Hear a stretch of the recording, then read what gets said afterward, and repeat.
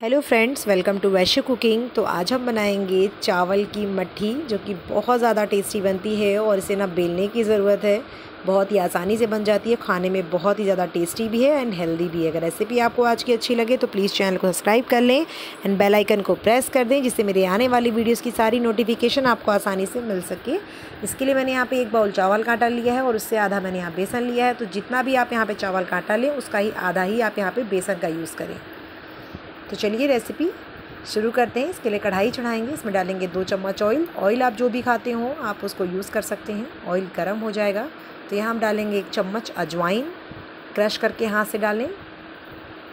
हाथ से अच्छे से मसल लें। मसलने के बाद ही अजवाइन को इसमें ऐड करें।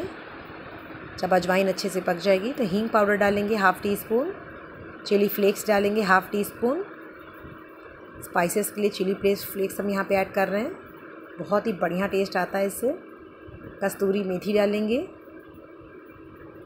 हाथ से मसल के कस्तूरी मेथी को भी ऐड करेंगे। सभी चीज़ों को अच्छे से पका लें। इसके बाद इसमें हम डालेंगे एक गिलास पानी।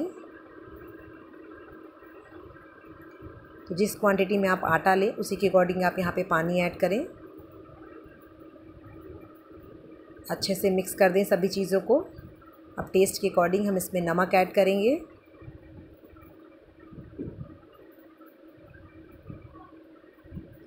और जब पानी में एक अच्छा सा बॉईल आ जाएगा, तब हम इसमें आटे को ऐड करेंगे। नमक को हमें अच्छे से मिक्स कर लेना है।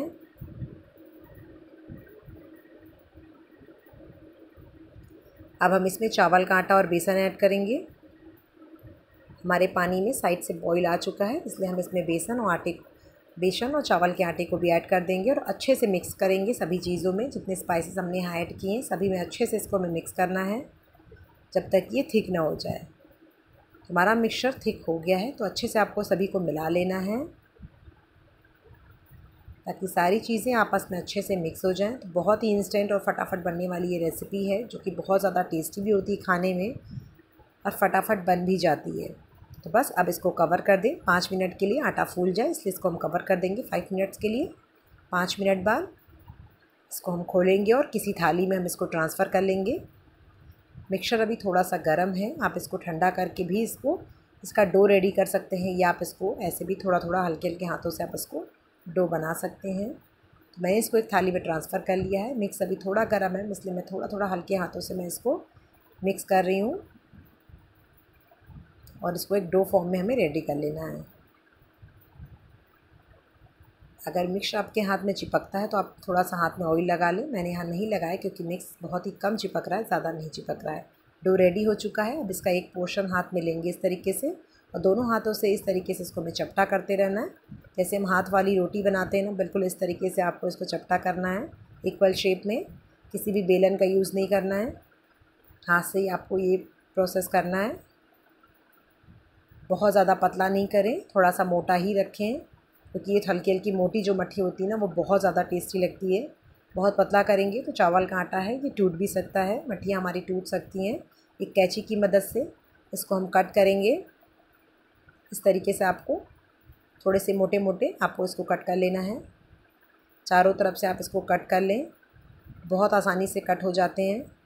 किसी भी नाइफ़ की ज़रूरत नहीं है। तो इस तरीके से मोटे मोटे साइज़ में आपको उसको कट कर लेना है। यकीन मानिए, बहुत ज़्यादा टेस्टी होती हैं और बच्चों को भी आप इसको बना के खिला सकते हैं, स्नैक्स में बच्चे बाहर का खाते हैं, आप इनको घर की ये चीज़ें बना के खिलाइए, बच्चों को बहुत ज़्यादा पसंद आएगी और बच्चे आपसे दोबारा बनवाएँगे। तो इसी तरीके से हम यहाँ पे सभी को मैं यहाँ पे कट कर लूँगी। बस ऐसे ही आपको आटे को चपटा करके सारे स्नैक्स को ऐसे ही कट कर लेना है। अब हमारा हमने अब हमें कढ़ाई में ऑयल चढ़ा दिया। पहले से ऑयल हमारा गर्म हो चुका है। बहुत ज़्यादा गर्म नहीं होना चाहिए। मीडियम हॉट ऑयल में आपको यहाँ पे इसको फ्राई करना है। सभी को हम डाल देंगे। तीन पोर्शन में हम इसको डालेंगे। एक साथ बहुत ज़्यादा नहीं डालें, नहीं तो आपस में चिपक सकते हैं। और जब तक ये थोड़े से कुक ना हो जाए, दो मिनट बाद ही आप इनको हाथ लगाएँ। दो मिनट से पहले आप इसको कलछुल बिल्कुल भी ना टच करें, नहीं तो ये टूट सकते हैं, क्योंकि ये थोड़े से पके हुए हैं इसलिए। तो आप दो मिनट बाद ही कलछुल को टच करें ताकि आपको पलटने में आसानी हो और ये बिल्कुल अलग अलग बनेंगे और टूटेंगे भी नहीं, आपस में चिपकेंगे भी नहीं। तो दो मिनट हो चुके हैं, हमने इसको पलट दिया है और आप इसको मीडियम फ्लेम पे ही इसको फ्राई करें, मीडियम टू लो फ्लेम पे, लेकिन हाई फ्लेम बिल्कुल ना करें, ये अंदर से अच्छे से क्रंची नहीं बनेंगे। तो बस हमारे स्नैक्स बिल्कुल अच्छे से फ्राई हो गए हैं, आप देख पा रहे हैं, कितने बढ़िया ये मछली हमारी फ्राई हुई है। बहुत टेस्टी और बहुत ज़्यादा हेल्दी है ये। तो आप भी ज़रूर ट्राई करिएगा। फ्राई हो गए, इनको हम निकाल लेंगे। तो आप देख पा रहे कितने बढ़िया और कितने कुरकुरे बन के हमारी मट्ठियाँ तैयार हुई हैं। सभी को हम एक बाउल में निकाल लेंगे और इसी तरीके से हम दूसरा पोर्शन भी ऐसे ही डाल देंगे। तो थोड़ा थोड़ा करके ऐड करें।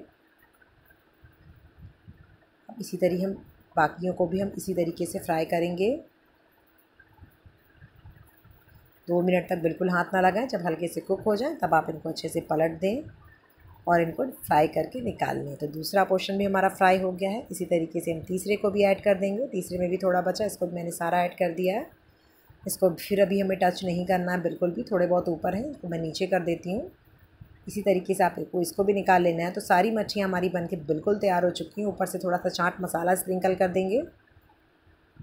बहुत ही खस्ता और कुरकुरी ये चावल की मट्ठी बन के तैयार हो गई है।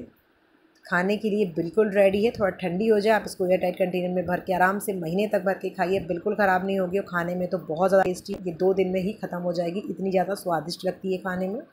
तो आप भी इस फेस्टिवल ये रेसिपी ज़रूर ट्राई करें। अगर आपको आज की रेसिपी अच्छी लगी हो तो चैनल को लाइक, शेयर एंड सब्सक्राइब कर दीजिएगा। तो आप देख पा रहे हैं कितनी बढ़िया हमारी ये मठियाँ बन के तैयार हुई। बिल्कुल आराम से टूट रही हैं और बिल्कुल क्रंची एंड खस्ते बनी हैं। तो आप भी ज़रूर ट्राई करें इस दिवाली, ये अमेजिंग सी रेसिपी अगर आपको ये रेसिपी अच्छी लगे तो चैनल को लाइक शेयर एंड सब्सक्राइब कर दीजिएगा और फॉलो करें हमें फेसबुक इंस्टाग्राम एंड यूट्यूब पर। प्लीज़ ट्राई करिए, मुझे फीडबैक में ज़रूर बताइएगा कि आपको ये रेसिपी कैसी लगी। एंड ऐसी और भी रेसिपीज़ देखने के लिए आप मेरे चैनल को सब्सक्राइब करें और मेरे चैनल की प्लेलिस्ट में जाके आप ऐसी और भी रेसिपीज़ देख देख सकते हैं। तब तक के लिए टेक केयर एंड बाय मिलते हैं नेक्स्ट वीडियो में एक नई